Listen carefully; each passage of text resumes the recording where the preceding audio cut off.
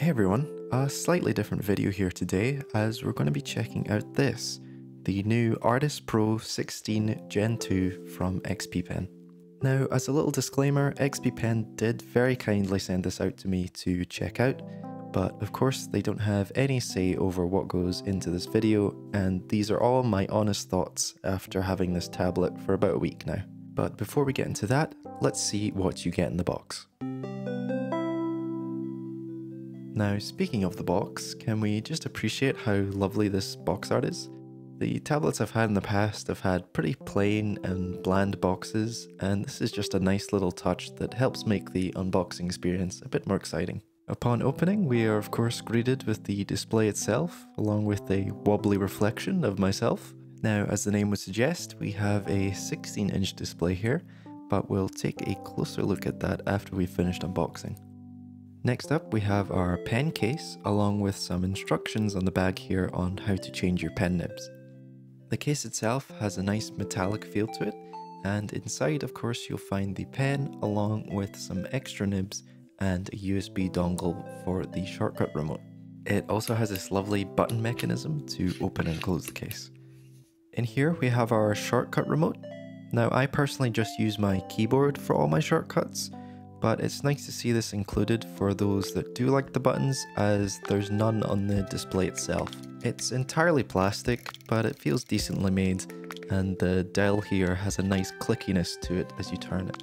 It can be connected via Bluetooth with the dongle in the pen case or plugged in using this USB cable which you'd also use to charge it.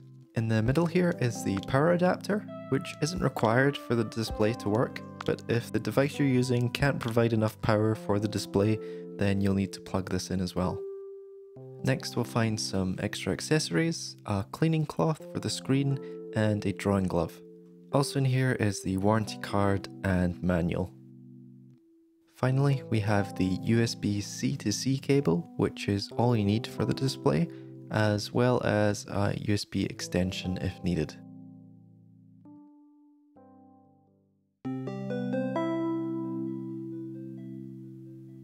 So for some quick tech specs, we have a 16 inch display at 2.5K resolution, which is 2560 by 1600 pixels.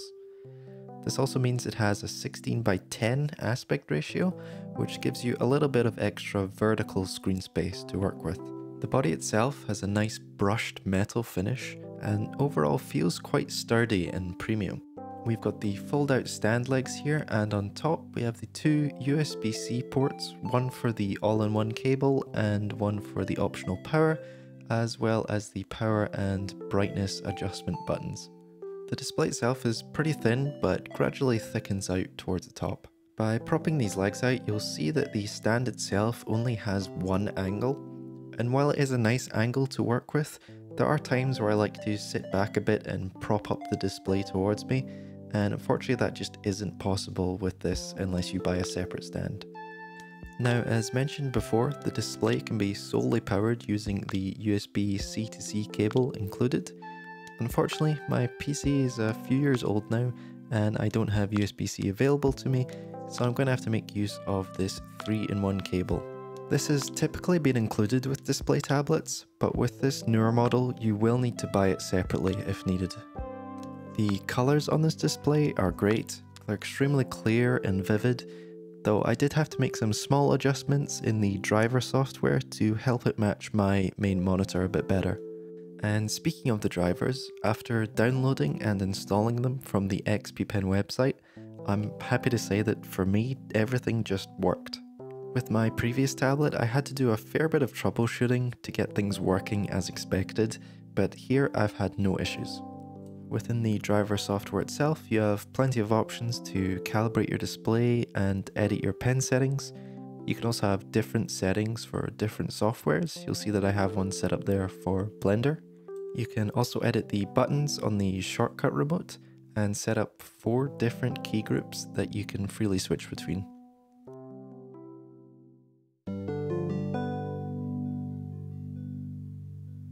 Now the big selling point they have with this pen is that it sports what they're calling the X3 Pro chip, which allows for double the amount of pressure sensitivity at 16,000 levels, which is pretty crazy, but honestly, the 8,000 levels that you find on most modern tablets now, I feel is more than enough, but it's cool to see that they're able to do that. I've been testing it out here in Krita and I can say that the pen does feel incredibly smooth and responsive to use. I also switched out my pen nib for the white felt ones that come in the pen case. I'm not sure how durable these are compared to the regular pen nibs, but the slightly softer touch these give paired with the texture on the screen gives a really nice drawing feel. I obviously had to give it a quick test in grease pencil, and while I don't tend to use pressure sensitivity here, everything worked just as smoothly as I hoped. In this close-up you can see just how accurate the pen is, and thanks to the laminated display there's also a very small gap between the pen and the screen itself. So after having this for just over a week now, I can't deny it's been a big upgrade for me. I got my previous tablet back in around 2019 and it's clear to see there's been a lot of progress made with these display tablets. The jump up from 1080p to 2.5k has been great. Everything on the display is clear and crisp, though if you pick this up and you're on Windows, I suggest going into your display settings and changing the scale to somewhere around 150%. The default 200% just makes everything look huge on this display. At first I didn't think too much about the 16 by 10 aspect ratio, but after having gotten used to it now, that little bit of extra vertical screen space is really nice to have. And in a program like Blender, we can have multiple viewports open at once. Having that bit of extra space and the resolution to cater for that is great. On a little side note, if you're wanting to record the screen itself for, say, a video here on YouTube, since most of the content is 16 by 9, you would have to allow for a bit of extra blank space on the sides so you don't chop off the top and bottom. You could also force the display to be 16 by 9 at 1440p, but then of course you're losing that extra working space. But of course, if you're not going to be recording yourself, then this is nothing to worry about. As I mentioned before, the 16,000 levels of pressure within this pen isn't a massive deal for me personally, but I can say that drawing with this has been a super smooth experience.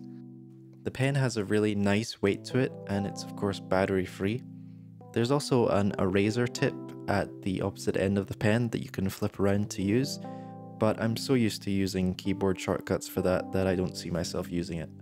And just navigating around the 3D space in Blender, editing objects and pulling them around has been really snappy and responsive. While I did say I didn't think I'd get any use out of the shortcut remote, I did find the dial on it a nice alternative to my mouse's scroll wheel for things like proportional editing like you've seen me use in this project, just means I don't have to take my hand off the screen for it. And I personally do like the fact that there are no buttons on the display. Just having that space purely for the screen looks really sleek to me.